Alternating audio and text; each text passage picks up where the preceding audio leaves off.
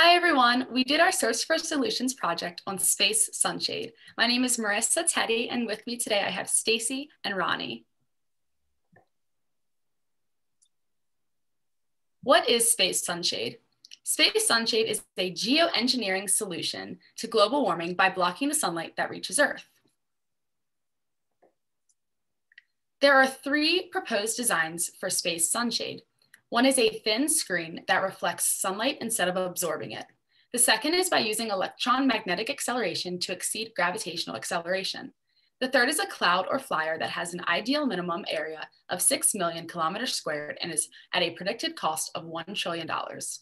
Today, we will mainly be focusing on design option one and most of our research is on design option one. Space sunshade uses transparent material to reflect the sunlight instead of absorbing it. It is placed at the inner Lagrange point known as L1, which is located in between the Earth and the Sun.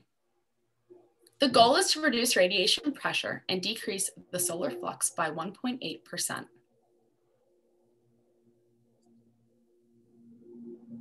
Space sunshade has the potential to reduce temperature increases caused by greenhouse gas emissions. The goal here is to reduce or, or divert solar radiation before it reaches the Earth.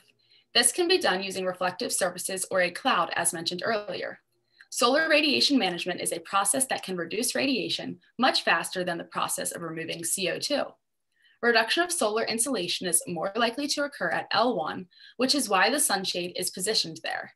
This 1.7% decrease in solar insolation would decrease the global surface temperature and produce outstanding impacts on our climate change journey. Here is another image describing, describing the positioning of the sunshade and how it would cast shade on Earth if placed at L1.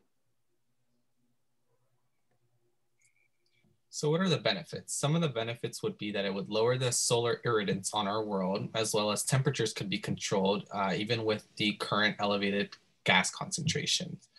This could also act like a conventional household or satellite solar panel, which would convert the radiation into electricity. If we wanted to completely counteract the cumulative effects of the human caused global warming today, we would need to block approximately 2% of the sun's light. And the solar energy collected from the Dyson dot or similar products uh, transmitted to Earth through space uh, would supply 10,000 gigawatts per year of electricity, which would completely cover the Earth's entire electric power demand. Some of its efficiencies. If we wanted to completely counteract the cumulative effects, again, we would need to block out 2% of sun's light which would normally arrive to Earth, and this would uh, help with that. The reduction would bring down Earth's average global temperature by as much as 2.7 degrees Fahrenheit. Uh, and this is approximately the same amount of change brought about by the Little Ice Age. And what are some criticisms? The logistics, obviously. Although there are technology and resources available to construct something this big, to block out the sunshade. The idea is relatively new and the concept has not been, has not been fully grasped yet to be able to solve. Scientists also believe that it would be difficult to create sun, a sunshade contraption um, as it would have to be made in space and the materials and resources would have to be brought up there instead of being built here first. It's also very difficult to send these large quantities of mass into space. And then the last criticism was obviously that of money, which it would be worth trillions of dollars to send these sort of arrays into space. And there are reasons uh, to hope that reusable launch technology becomes more reliable. Uh, this might decrease the launch costs by under a trillion, but this still includes those many trillions of dollars, which would cost to be able to create such a product. There are several limitations to implementing solar sunshade.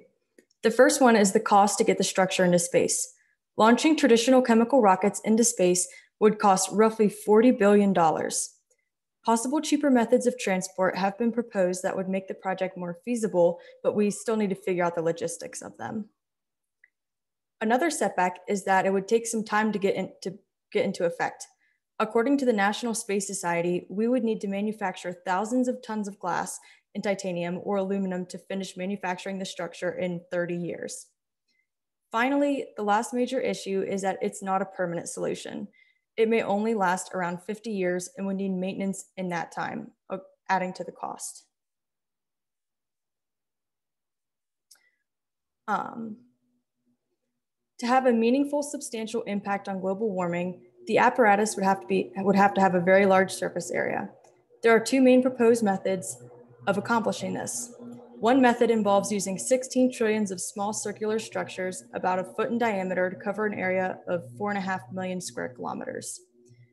With a mass of 20 million tons, using the usual chemical rocket launch method of transport would be costly at around $10,000 per pound.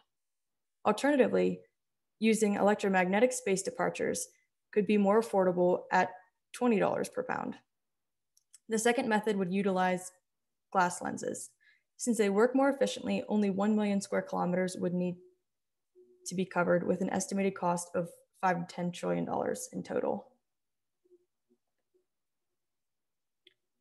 Um, how mature is the technology? The glass circular discs needed to implement solar sunshade are easily produced and are already commercially available. However, machines needed to produce the high volume of materials needed would need to be manufactured. The technology is not yet deployed and would take years to set up.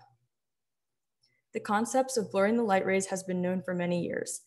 How the materials would function to reduce global warming are theoretical. Um, and this image shows how the schematics of the glass disc would theoretically work. And here are our references.